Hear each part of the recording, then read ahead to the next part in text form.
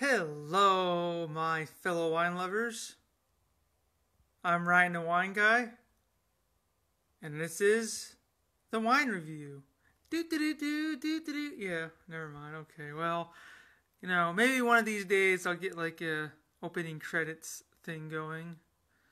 I can't really do that live, but today I am going to be reviewing a Australian wine. It is 19 Crimes, and it's their Cabernet Sauvignon. 19 Crimes makes four different types of wines. Um, most of the other three, I think all the other three, are solely red blends. They have their original red blend, they have the Banished, which is new, and then they have the Warden. The Warden's a little bit more on the pricier side. This one usually goes for around $10.99, although most places you can be able to see it at around on sale at $7.99 or even $8.99. So it's a very inexpensive wine, but considering for how much it usually goes for, like I said, $10.99, even up to maybe $12.99 depending on where you buy it from but usually it will be within that $10 area. The bottle looks like this. And you want to make sure that if when you get this one that you try their Cabernet Sauvignon as you see. Vintage 2015, so still a fairly new wine, but most of their wines look like this. They have the Banished, which has a face. Their Red Blend has a face. And then the Warden just has a list of crimes. So they give you a little synopsis about um, Australia, and this is based out of southeastern Australia, but it gives you a little synopsis about how Australia was formed. Um, many of you pro- probably know this, but um, there was a time way back when, um, under British control, when convicts were convicted of crimes, instead of being like put to death, they would be banished, um, and they would be banished to Australia. And since therefore became the creation of Australia. So, in other words, you can say that Australia was founded and formed by a bunch of criminal convicts. Good job, guys. Um, but, you know, they've gotten their act together for the most part. So I'll just read you what it says on the back. 19 crimes turned criminals into colonists. Upon conviction, British rogues guilty of at least one of 19 crimes were sentenced to live in Australia rather than death, as I said. This punishment by transportation began in 1788. There you go, I got the year. And many of the lawless died at sea.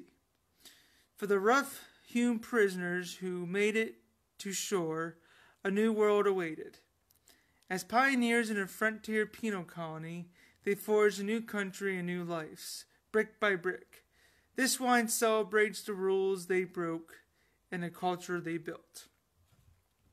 Now, what it doesn't say on there, that fun fact for you all, that I actually learned one of the youngest people to ever be banished and sent to Australia, as far as I found, I think was as young as either eight or nine years old. The youngest person to be sent there was either eight or nine years old. So you look at back then, that's that's pretty crazy. So we've definitely come a long way in knowing that finishing eight year olds is not right. Although, as much as we would love to, uh, we can't. Um, but anyway, I will show you the wine in the glass.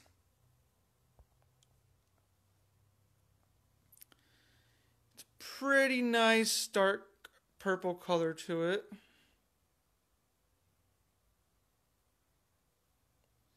which I like. I like when I'm drinking cabs. I like there to be a good purplish, dark reddish, nice little rim.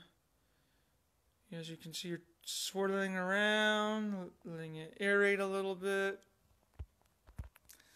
All right, so here we go on the nose. There's definitely some good oak on the nose. I'm getting aromas of vanilla.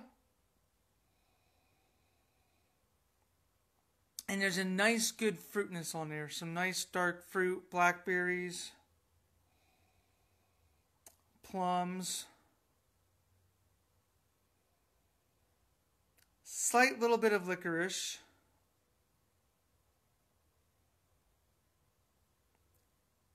And I want to say just a little teeny hint of black pepper. Nothing overpowering now. It's mostly the vanilla, the berries, and then that black licorice that comes into play. The 13.5% alcohol by volume, which is common for most Australian wines, so it's not very low, but it's not very high like the one I did yesterday but it is to be expected with Australian. You're looking at around 13.5, 14%. So pretty much right in the middle. Yes, I am funny as hell, I know. but it's right in the middle of when it comes to wine. Still, something I usually like to aim for. I usually like to stick within that 13 to 14% range. You go much higher than that, uh, like the one yesterday, that one got a little rough. It was good, but they can get a little rough. So on the palate,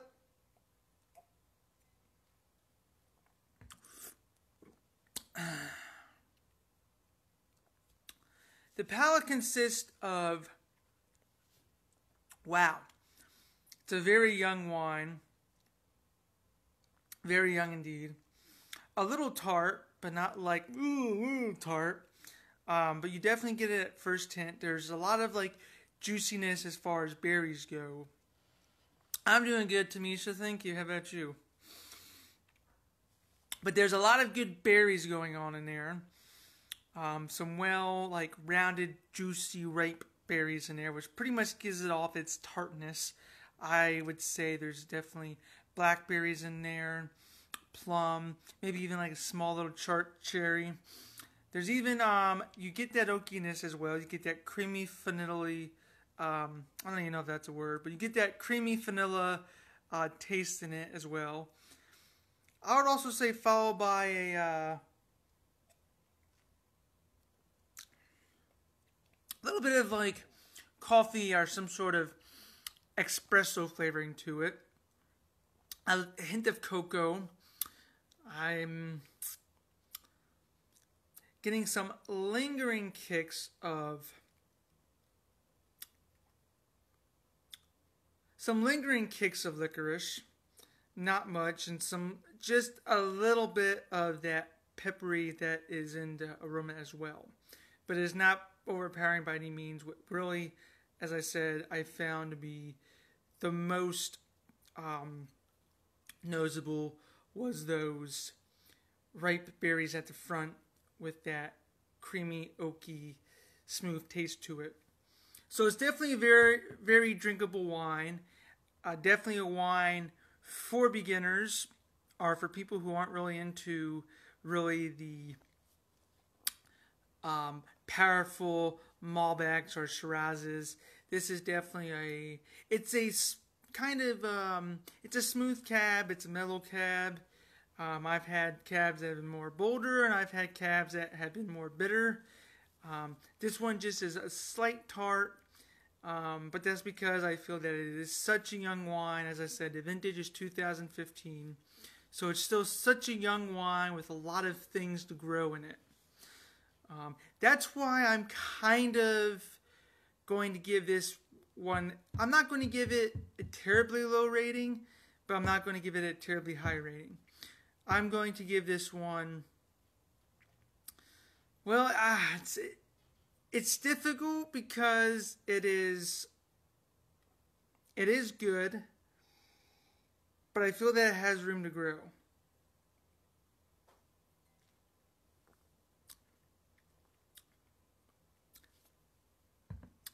I'm going to say 3.5. Um, I don't want to give it as low as a 3 because it's better than that, but it's not quite at my par as 4 or above. Definitely not a 5 out of 5, but I'm going to say a nice 3.5.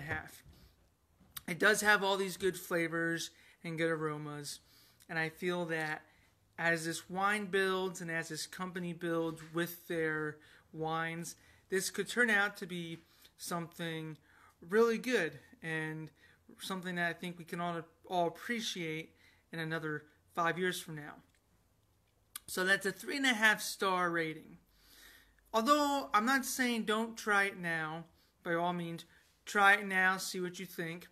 Um, as I said, if you are one of those people who really likes these smooth, mellow wines, uh, th- this is something that is right up your alley. And um, that that's why it's sometimes so hard to give these ratings because I give ratings based off of my personal taste, and it's also hard to try to interpret other people's. So for me, I take that into account. I do like my cabs creamy. I do like them to have good fruit on them. I'm just not so thrilled that it has that slight tartness at the beginning. So that's another reason why it gets a little bit lower than what it should. Although, as I mentioned, the coloring is good. It's a nice dark color. Um, paying full price, as I said, full price, and not on sale. Some places you would be paying maybe as high as twelve or thirteen dollars. I would recommend finding places on sale. You can easily find it on sale for $7.99, maybe even $6.99 at the least, but you're looking around $7.99, $8.99. It's um, pretty much sold in all liquor stores. This is not one that you have to go out of your way to go to one of the higher end liquor stores. Any liquor stores should sell it. And make sure you look for the Cabernet Sauvignon. A lot of their bottles look alike. At least three of them look similar. Uh, they have a more expensive one, which I have not tried, and I may do that later on in the year. Show you all the bottle one more time. Yeah, look at that guy, you know? Creepy dude. Oh, gosh. I guess when you're drinking this wine, keep the bottle not facing you. I want that thing looking at you all night. So there you have it, ladies and gentlemen. Just a recap. Aromas of blackberry, plum, vanilla, black pepper, and licorice. And on the palate,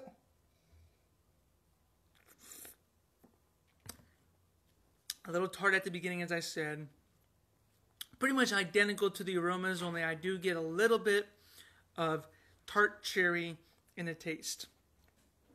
So, with that, it's been a pleasure. And coming up on Friday, I will be reviewing a 2010 French wine. So, feel free to all join me on Friday and watch me totally butcher the name of the wine uh, because I know I'm going to. But regardless, I'll still show you what it looks like anyway, so that way you can all go out and find it. Well, it's been a pleasure doing wine reviewing with you all. And feel free, as I've said, to get in touch with me if you have tried this or when you do try this wine to let me know how your feelings are towards it. And until next time, I am Ryan the Wine Guy. Cheers.